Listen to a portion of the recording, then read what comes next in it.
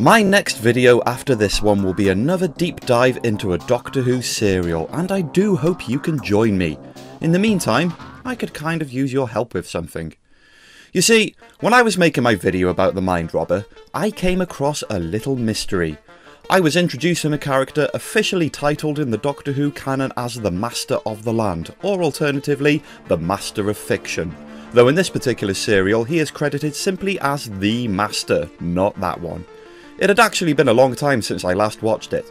To briefly summarise, this character, whose name is never truly revealed, is scooped up from his English dwellings in the summer of 1926. He is then hooked up to this alien consciousness and forced to pen a fantastical land populated by fictional characters in order to enslave humanity and leave the real planet Earth open for invasion. This alien threat considered the gentle Englishman to have the necessary qualifications for the job because, for 25 years, he'd written 5,000 words of fiction every week, which according to Zoe is well over half a million words. This guy clearly loved being a writer, even when wired to a malicious alien brain, and this sense of pride and passion for his work is clearly expressed when he says, Did you ever hear of the adventures of Captain Jack Harkaway?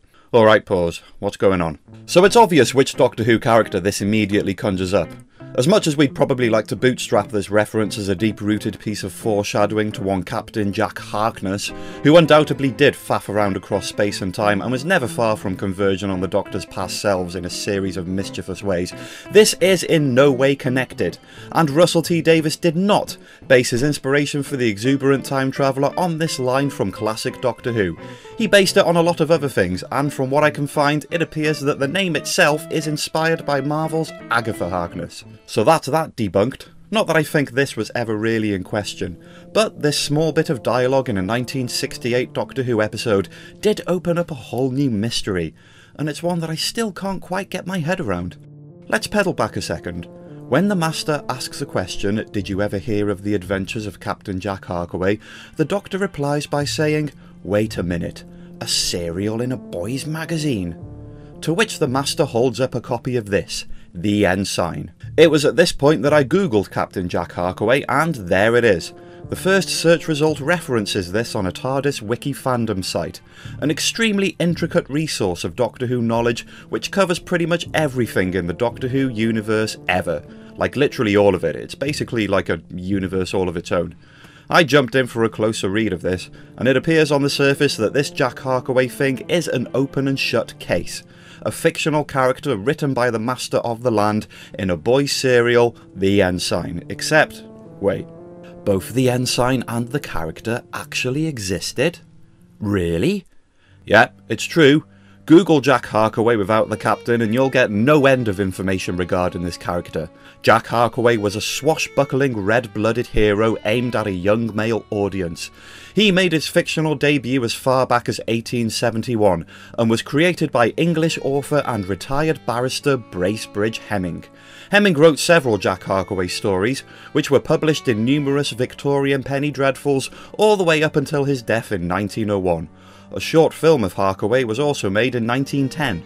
For those who don't know, Penny Dreadfuls were serialised works of literary fiction, popular with the Victorian working class. They were often violent, anarchic, lewd and creepy, kind of like a 19th century Inside Number 9. And Jack Harkaway was one of the more established characters across the Penny Dreadful landscape. There were hundreds of different Penny Dreadful publications.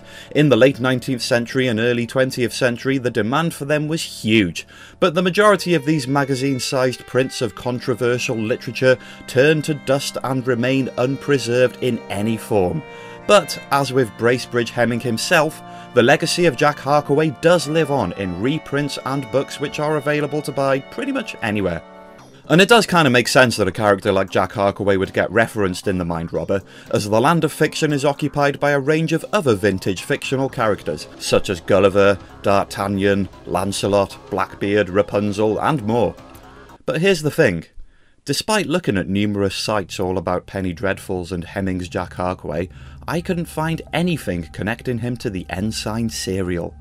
You might think there's an obvious reason for this. I mean, you're working on Doctor Who, trying to write in a meagre detail to bulk up a larger, more crucial part of the story. You've heard of the Ensign and you've heard of Jack Harkaway, so squash them into one product, just to get that bit out of the way. We're only dealing with a couple of lines of dialogue here, so what if the Master of the Land plagiarised this character from Bracebridge Hemming, or that Jack Harkaway never really appeared in that specific magazine? The fact that this writer is said to have travelled from 1926, which is still a good couple of decades after any new Jack Harkaway stories were written in the real world, shows how these names may have been thrown together in a last minute blase fashion. Although I do find it interesting that the Master claims that he's been working on this publication for 25 years, which would date back to 1901, the year that Bracebridge Hemming died in real life. It does kind of imply that the Master inherited the character of Jack Harkaway rather than plagiarised him, and in the process promoted him to captain. Anyway, so let's find out who did appear in the Ensign. Naturally, you can't just Google the Ensign, that's far too vague. If you try the Ensign Boys magazine, a publication does show up, but it's definitely not the right one. Enter the keywords the Ensign Victorian and you get nothing close.